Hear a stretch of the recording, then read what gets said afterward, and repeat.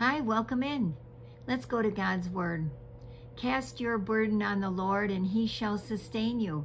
He shall never permit the righteous to be moved. Psalm 55, verse 22. Come to me, all you who are weary and burdened, and I will give you rest. Take my yoke upon you and learn from me, for I am gentle and humble in heart, and you will find rest for your souls.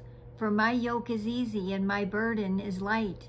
Matthew 11, verses 28 to 30. I trust in your unfailing love. My heart rejoices in your salvation. Psalm 13, verse 5.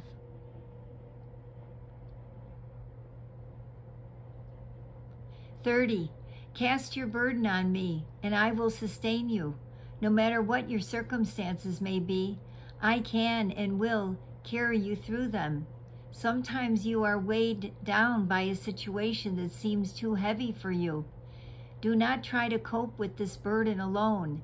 Instead, bring it into my presence and cast it on me, releasing it into my care and keeping.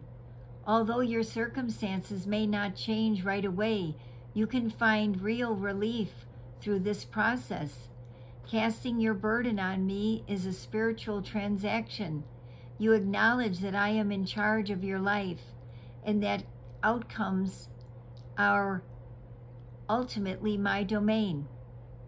This lightens your load immensely, relieving you from feeling responsible for things beyond your control.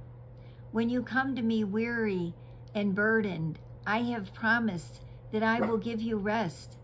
Take my yoke upon you, trusting in my unfailing love, and let me carry your heavy load. For my yoke is easy and my burden is light.